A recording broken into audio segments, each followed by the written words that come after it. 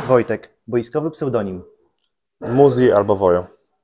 Gdybyś nie był piłkarzem, byłbyś Pewnie coś w piłce, może trener? największe marzenie niezwiązane ze sportem. Tak. Eee, myślę, że wyjazd do zagranicznego klubu. Mecz bez kibiców przy światłach, czy z kibicami o 12 w południe? Z, z kibicami.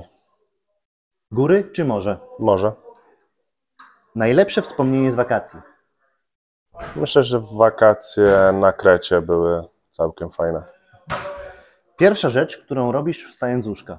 Sprawdzam telefon. Na co zazwyczaj nie masz czasu i odkładasz na potem. Na sprzątanie zawsze odkładam to na potem. Sławna osoba, z którą chciałbyś wypić kawę. Pep Guardiola.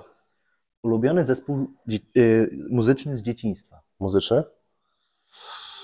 Yy, Hemgru? Może? Kawa czy herbata? Kawa. Śniadanie na słodko czy na słono? Na słono. Dom z ogródkiem czy apartament? Dom z ogródkiem.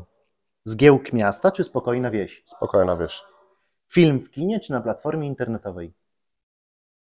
To i to.